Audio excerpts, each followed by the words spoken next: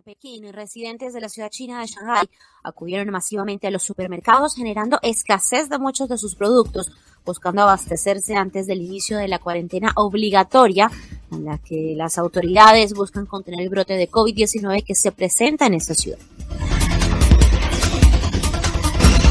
Túnez, el presidente de Túnez, Kais Sayed, informó el decreto, emitió un decreto disolviendo el parlamento de su país, cuyas sesiones se encuentran suspendidas desde el año pasado. Washington, los organizadores de los premios Oscar revelaron haberle pedido al artista Will Smith retirarse del lugar del evento tras golpear al comediante Chris Rock cuando éste se burló de una condición médica de su esposa pero este se negó a hacerlo ya que estaba nominado al premio de mejor actor que finalmente obtuvo. Al recibirlo pidió disculpas por sus actos y luego le reiteró, lo reiteró en sus redes sociales mencionando directamente a Chris Rock. Teherán, el Departamento de Tesoros de los Estados Unidos anunció la imposición de nuevas sanciones contra Irán eh, por su programación, por su programa de misiles balísticos en respuesta al ataque perpetrado al inicio del mes de marzo contra una base estadounidense ubicada en Irak.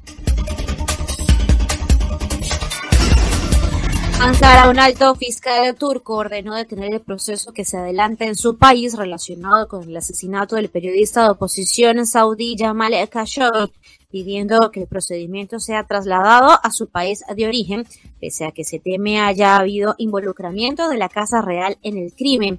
La movida se da en medio de un estrechamiento de relaciones entre Ankara y Riad, quienes buscan recomponer las mismas.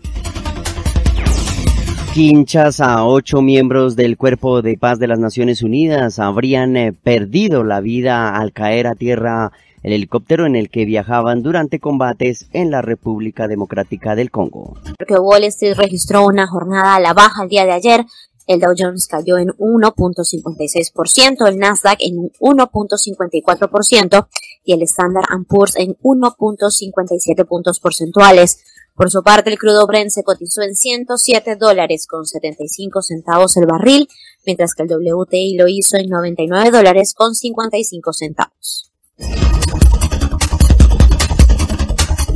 Kiev, tropas rusas empezaron a abandonar el área de la planta nuclear de Chernobyl después de que los soldados hubiesen sido expuestos a dosis significativas de radiación al cavar trincheras en el lugar que se encuentra altamente contaminado, según informaron medios de comunicación en Ucrania.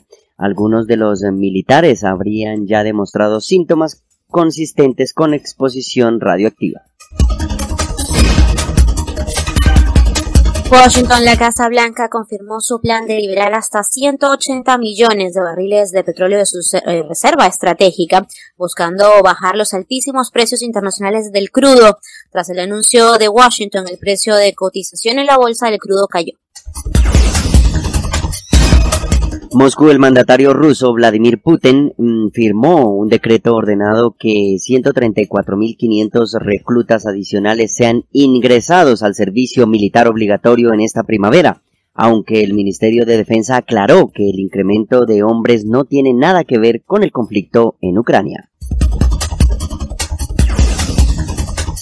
Bruselas, el grupo de análisis de amenazas ah, de Google informó que hackers rusos han intentado recientemente penetrar las redes de la OTAN y de las fuerzas militares de algunos estados de Europa del Este.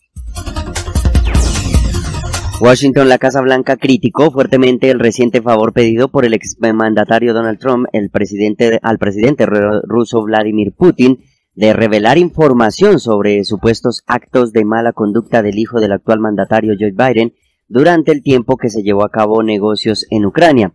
El gobierno de los Estados Unidos señaló la movida como muy inoportuna debido a la situación actual.